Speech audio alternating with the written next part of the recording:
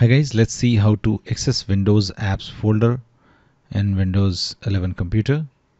So first of all, just go to your C drive and then go to program files.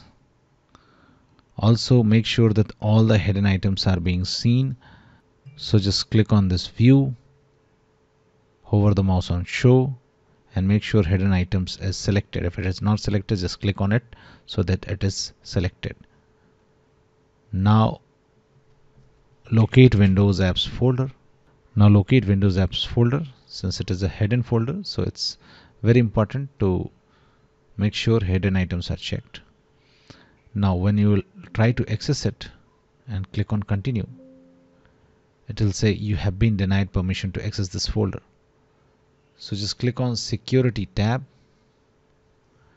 Now what you have to do, you have to make sure you are on security tab and then click on advanced. Now just click on change. Now here in the in this box just enter your username and click on check names. If you don't know your username just search command prompt and type echo percent username percent hit enter.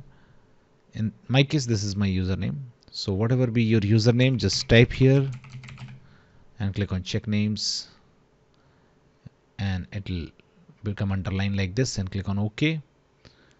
Check this option. Replace owner on subcontainers and objects. Now click on apply and click on ok. And it'll take some time for changing the ownership now click on ok ok ok and close this. And now when you will try to open this folder it will open. That's it guys. Please do like the video to support us and thanks for watching. The